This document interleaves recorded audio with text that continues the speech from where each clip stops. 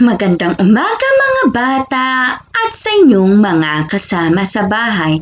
Nandito na naman ako, si Teacher Diana Lynn, ang inyong guro para magturo sa ating asignaturang Mathematics 1. Tayo ngayon ay nasa week 7 at pag-aaralan natin ngayon ang tungkol sa araling magkumpara ng mga bilang hanggang isandaan gamit ang mga wastong simbolo ng mas kaunti, mas marami, at magkapareho o magkasindami. At para sa ating layunin, pagkatapos ng araling ito, ikaw ay inaasahang mapaghahambing ng mga ng mga bilang isa hanggang isandaan gamit ang mga wastong simbolo na mas kaunti, mas marami, at magkapareho. Okay, tingnan muna natin itong kwento o kwentong suliranin. Ang magkapatid na Jaja, Jojo at Jenna ay naglalaro sa kanilang sala gamit ang kanilang mga laruan. Suriin natin ang mga larawan.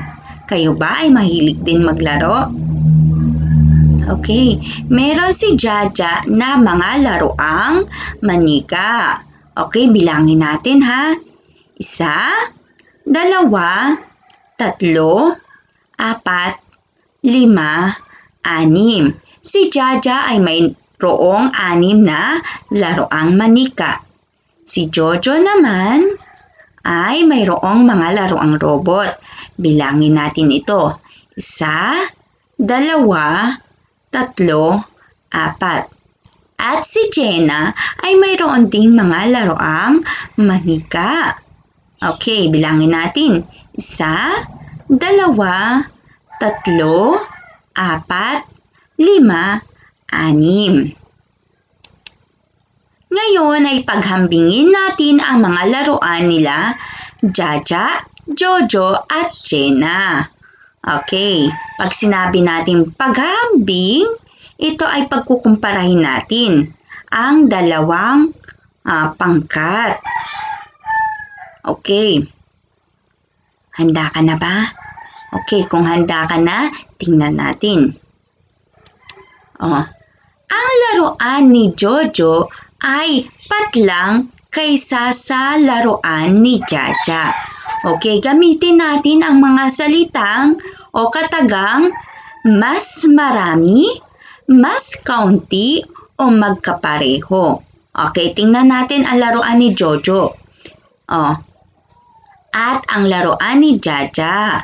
Ito ang pagkukumparahin natin. Bilangin nga natin yung kay Jojo. Isa, dalawa, tatlo, apat. Apat ang kay Jojo ah.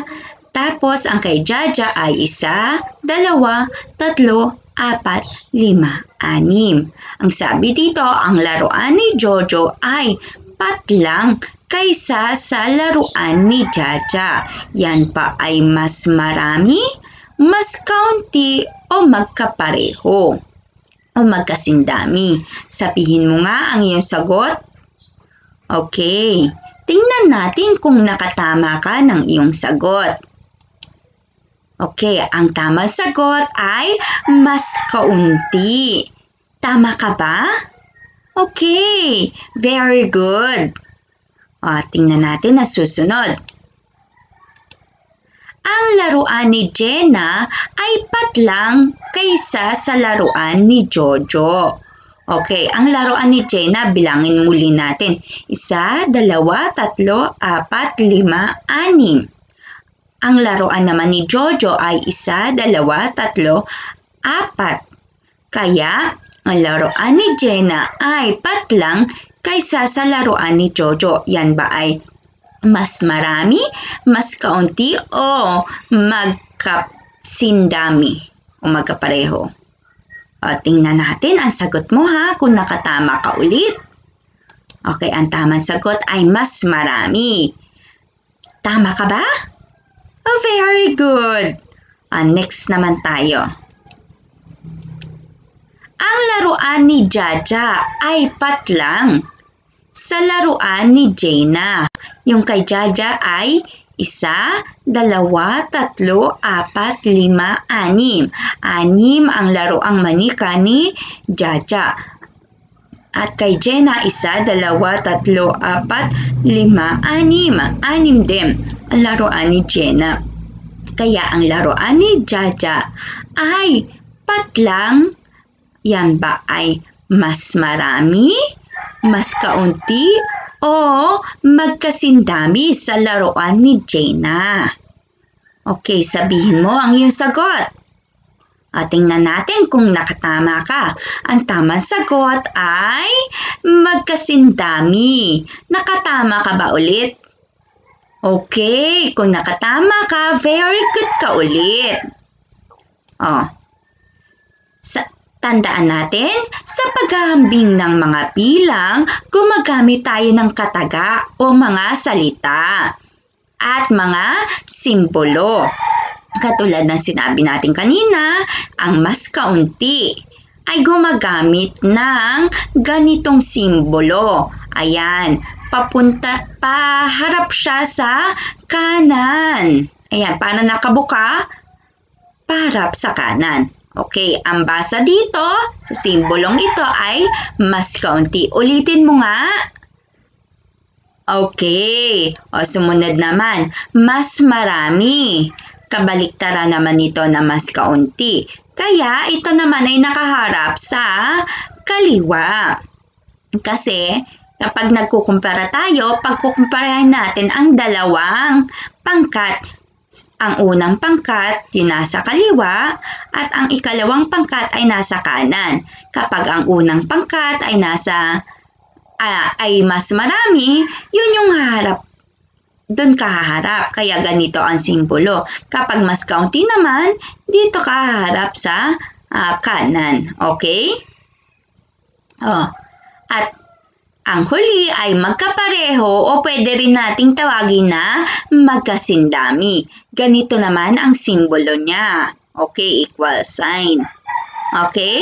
Ito kapag sa English, yan ay less than. Ang basa dyan, less than. Ito naman ay greater than. Ito ay equals to. Okay? Is equals to. Okay? Sumunod naman. Ah, gamitin natin ang pagkakambing gamit ang simbolong mas. Ano to? Okay, mas kaunti. Sumunod, mas marami at mag kapareho. Okay. Uh, itong laruan ni Jojo. Bilangin natin isa, dalawa, tatlo, apat.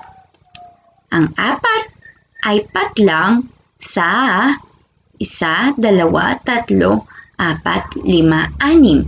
Sa anim. Yan ba ay mas kaunti, mas marami, o mag kasindami o magkapareho. Okay. At ang tamang sagot ay mas kaunti. Kaya dito tayo nakaharap sa kanan. Okay? Sumunod naman. O, bilangin natin ito. Sa dalawa, tatlo, apat, lima, anim. Ang anim ay patlang sa sa dalawa, tatlo, apat, apat. Okay, yan ba ay mas kaunti, mas marami, o magkapareho? Okay, saan paharap ang sagot mo? Ano sagot mo? Okay, tingnan natin. Ang tamang sagot ay mag ay mas marami. Yan ha, mas marami yan. Okay, bilangin natin ang Kasunod, isa, dalawa, tatlo, apat, lima, anim. Ang anim ay, yan ba ay mas kaunti, mas marami, o magkapareho sa sa dalawa, tatlo, apat, lima, anim. O, anong sagot mo? At ang tamang sagot ay magkapareho. Kasi magkapareho ang bilang na nasa pangkat na nasa kaliwa at sa kanan. Okay, tandaan nyo kapag tayo ay naghahambing, naghahambing tayo ng dalawang pangkat. Ang unang pangkat ay nasa nasa kaliwa at ang ikalawang pangkat ay nasa kanan. Kaya ang pagbabasehan natin kung alin ang mas marami dyan. Doon naharap ang uh, bibig nito. Yan. Tapos, kapag naman magkapareha sila, uh, gagamitin natin ay magkapareho o magkasindami. Um, ulitin natin, ang basa dito ay mas kaunti. Ito naman ay mas marami. Ito ay magkapareho. Okay? O, sumunod. Sabihin kung ang mga bilang sa hanay A ay mas marami, mas kaunti o magkapareho sa mga bilang na nasa hanay B. Okay. Ito yung hanay A, ang nasa kaliwa, ang hanay B naman ang nasa kanan. O, tingnan natin. Number 1, ang 38 ay patlang sa 42. Babasahin ko muna ang mga bilang ha para may time kayo para makapag-isip. Okay, yung mga nasa hanay A at B. Number 2, ang 56 ay patlang sa 24. Number 3, ang 76 ay patlang sa 87. Number 4, ang siyam na putatlo ay patlang sa dalawamput lima. Number 5, ang labing dalawa ay patlang sa labing dalawa. Ngayon naman, sagutan natin. Okay, gamitin natin ang simbolong mas marami. Ganito. O mas kaunti, gamit ang simbolo nito, a, o magkapareho. Okay, number 1. O, ang 38 ay patlang sa 42. Okay. Ano ang iyong sagot? Yan ba ay mas marami, mas kaunti, o magkapareho? Okay. At ang tamang sagot ay mas kaunti. Very good. O, number 2. Ang 56 ay patlang sa 24. Anong sagot mo? At ang tamang sagot, tama ka. Ito ay mas marami. Kasi mas marami ang 56 sa 24. Okay, number 3. Ang 76 ay patlang sa 87. At ang tamang sagot ay mas kaunti. Dahil ang 76 ay mas mababa o mas kaunti sa 87. Okay. Number 4. Ang 73 ay patlang sa 25. Okay, at ang tama sagot ay mas marami. Higit, higit na mas marami ang 73 kaysa sa 25. At ang bilang Lima, ang labing dalawa ay patlang sa labing dalawa. At ang tamang sagot ay magkapareho dahil ang bilang nila ay parehas. Magkasindami sila. Okay? okay. Para sa ating gawain sa pagkatuto bilang isa, paghamig, paghambingin ang dami ng bawat larawan gamit ang salitang um, mas marami, mas kaunti, at magkapareho. Piliin ang tamang sagot. Okay, sabihin mo la, na lamang ang iyong tamang sagot ha. Tapos tingnan mo kung nakatama ka. Okay, number one.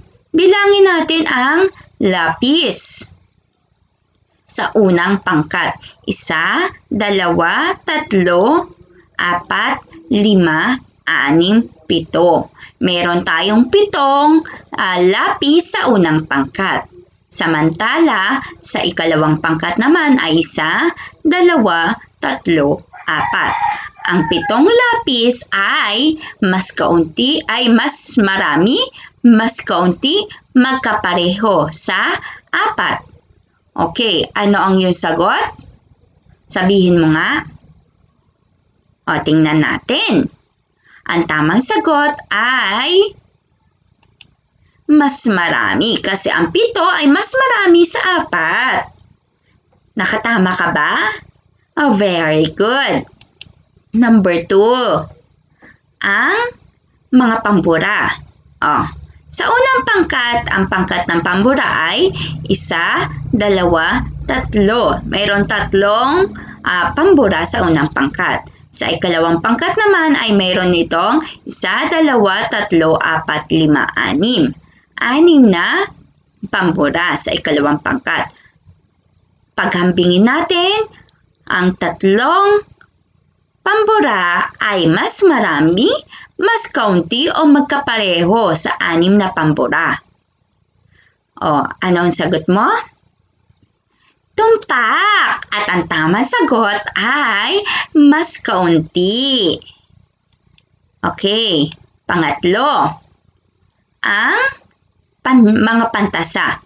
Isa, dalawa, tatlo, apat, lima. Meron tayong limang pantasa sa unang pangkat. At sa ikalawang pangkat, isa, dalawa, tatlo, apat, lima. Meron ding limang um, pantasa. Ito ba ay mas marami, mas kaunti, o magkapareho? O, tingnan natin kung nakatama ka. At ang tamang sagot ay magkapareho. Naintindihan mo ba ang ating aralin? Okay, very good. O ipagpatuloy natin. Para sa ating gawain sa pagkatuto bilang dalawa, punan ang kahon ng wastong simbolo na mas marami, mas kaunti, at magkapareho. Okay, letrang A. Ang labing dalawa ay patlang sa labing lima. Okay. Letrang B. Ang labing lima ay patlang sa labing lima. Letrang C.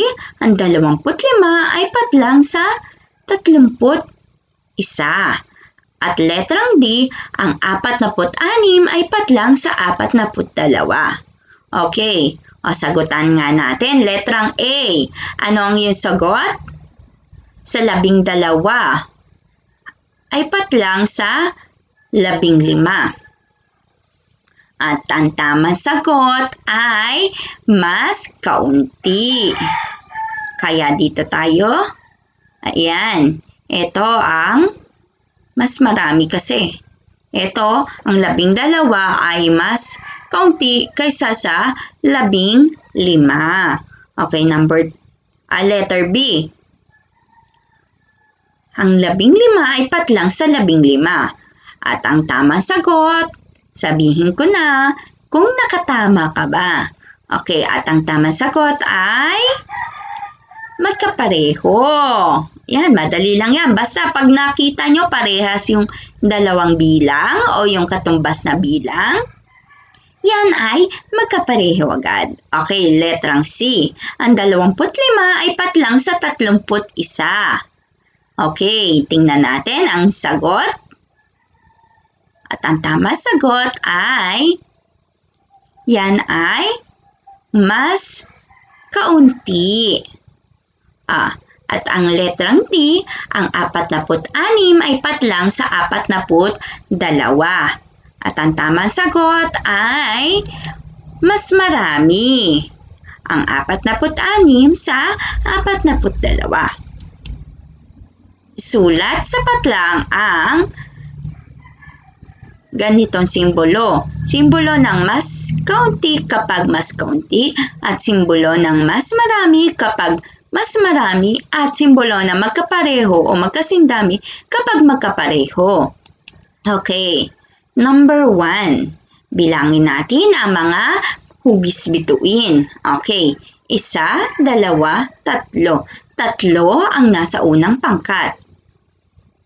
O, patlang sa isa, dalawa, tatlo, apat. Ang tatlong at tatlong hugis bituin ay patlang kaysa sa apat na hugis bituin. Yan ay mas kaunti, mas marami o magkapareho. O, tingnan natin kung tama ka ha. At ang tamang sagot ay mas kaunti. Dahil ang tatlo ay mas kaunti sa apat. Number two, ang apat na hugis puso o ang apat na puso ay patlang sa dalawang puso. Okay, anong sagot mo? At ang tamang sagot ay mas marami. Very good. Number three. Ang tatlong hugis diamante ay patlang sa tatlong hugis diamante. Okay. At ang tamang sagot ay magkapareho. Tama ka ba? Very good. Number four. Ang dalawang tatsulok ay patlang sa apat na tatsulok. Okay. At ang tamang sagot ay mas kaunti. Number 5. Ang dalawa ay patlang sa dalawang bilog. Ang dalawang bilog ay patlang sa dalawang bilog. Okay, ano ang sagot mo? At ang tamang sagot ay magkapareho. Okay, nakatama ka ba? O madami ka bang tamang sagot? Oh, very good. Oh, para sa ating gawain sa pagkatuto bilang apat, piliin ang tamang bilang sa loob ng panaklong. Isulat ang sagot sa iyong papel. O sabihin na lang natin. O, letrang A. Ang labing lima ay mas kaunti sa apat na put lima o lima. At ang tamang sagot ay dito natin ilalagay. Okay?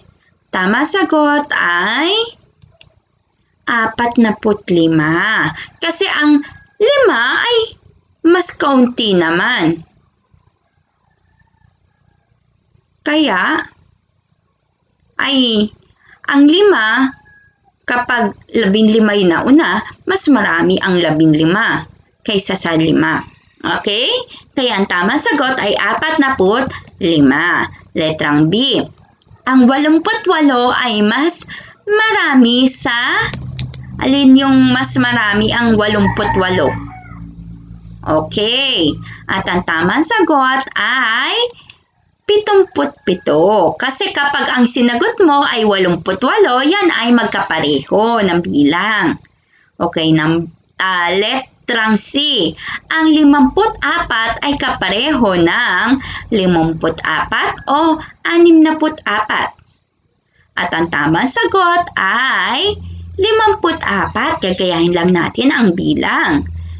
Letrang D. Ang siyam na po ay mas kaunti sa Siyam na put isa o siyam na po? O, anong sagot mo? Okay, very good. At ang tamang sagot ay siyam na put isa. O, letrang E. Ang, ang tatlumput siyam ay mas kaunti sa apat na put siyam o dalawamput siyam? Alin ang mas kaunti? Ang tatlumput siyam. At ang tamang sagot ay dalawamput siyam. Ay, saglit. At ang tamang sagot pala dito ay apat na put siyam. Kasi kapag nilagay pala ni teacher, mali pala to.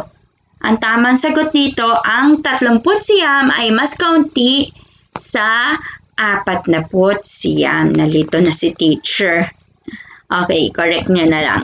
Okay, tandaan. Sa paghahambing ng mga bilang, nalalaman kung alin ang mas marami, mas kaunti o magkapareho ng bilang. Ito ay ginagamitan ng mga simbolo na mas marami kung mas marami, mas kaunti kung mas kaunti, at ganitong simbolo kung magkapareho ang damit ng dalawang bilang. Okay, para sa ating gawain sa pagkatuto bilang lima, piliin ang letra ng tamang sagot. Isulat ang sagot sa kwaderno. Ito po ay gagawin ninyo at ipapasa ninyo sa ating Google Classroom. Okay, number one. Ang 27 ay kapareho ng patlang. A. 26, B. 27, C. 28. Okay? Sulat ang iyong sagot sa kwaderno. Number 2. Ang 80 siyam ay patlang sa siyam na po. A. Mas marami. B. Mas kaunti. C. Magkapareho. Isulat ang letra ng sagot sa kwaderno. A, B, o C. Okay? Number 3. Aling simbolo ang angkop sa pangungusap na ang 75 ay mas kaunti sa 6 na po? Ay, Ulitin ko ha. Ang limang, ang pitumput lima ay mas marami sa anim na po. Ulitin ko ulit ha. Na, nagkamali si teacher kanina. Aling simbolo ang angkop sa pangungusap na ang lima, ang pitumput lima ay mas marami sa anim na po. Okay. Ito bang simbolo na to? A, B, o C? Okay, aling tamang simbolo ang gagamitin natin? Alin dyan ang simbolo ng mas marami? A, B, o C? Okay? Number 4. Ano simbolo ang angkop sa kahon? Ang limampu ay patlang sa limampu dagdagan ng lima. O, pagsamahin mo yon Anong katumbas na bilang nun? Okay. A. Mas marami. B. Mas kaunti. O C. Magkapareho. A, B, o C. Okay. Number 5. Ang siyam na put Walo ay mas marami sa A. Siyam na putsyam, B. Siyam na putwalo, o C. Siyam na putpito. Okay? A, B, o C. Sulat ang iyong sagot sa kwaderno. Maraming salamat po sa inyong pakikinig. Dito po nagtatapos ang ating aralin. Maraming salamat din po sa mga kasama sa bahay na gumagabay sa ating mga mag-aaral at tumutulong sa kanilang aralin. Hanggang sa susunod po muli, ako po si Teacher Diana Lin, ang inyong guro sa unang baitang.